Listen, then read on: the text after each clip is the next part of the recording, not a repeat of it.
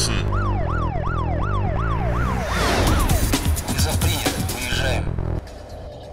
Шымкентте бір жасар бала тоқ соғып қайтыс болды. Бұл туралы хабарлама құтқарушыларға 15 тамыз күні сағат 20.30-да түскен.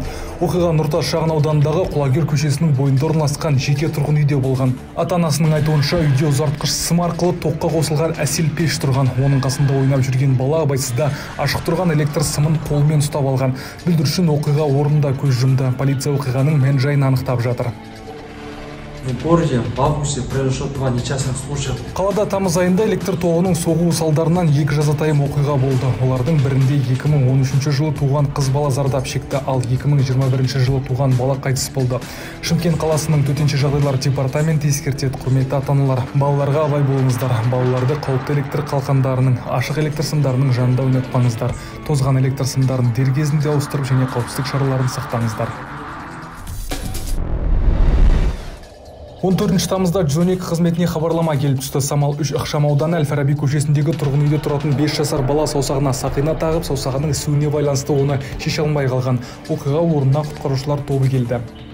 2022 жылы 14 тамыз айында кешкі сағат 21 шамасында 112 пультпен қоңырау түсіп дабыл бойынша оқиға орнына барсақ 5-6 жасар баланың қолына сақина тағып алған.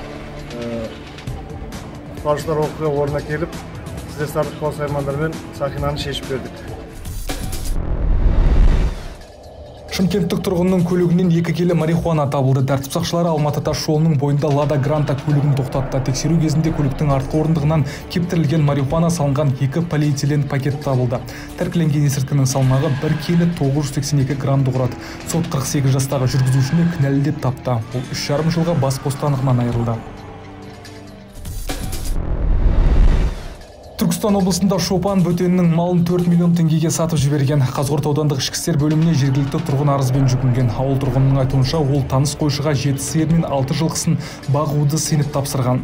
Малдың жоғалғанын білген жәбірленуші барлық мән жайды анықтау үшін полицияға жүгінген. Жәбірленушіге келтірілген шығынның жалпы сомасы шамамен 4 миллион теңгені құрады. Аталмыш дерек сеніп тапсырылған бөтеннің мүлкін иемдену немесе жымқыру бабы бойынша тіркелді. Полицейлер күдіктінің бұрын сотталған жергілікті тұрғын екенін анықтады. Тексеру кезінде күдіктінің екі жыл бойы шопан болып жұмыс істегені белгілі болды. Өзіне сеніп тапсырылған оннан астам жылқы мен сиырды сатып ақшасын өз мұқтажына жұмсаған. Қазіргі уақытта аталған факті бойынша сотқа дейінгі тергеу амалдары жүргізілуде.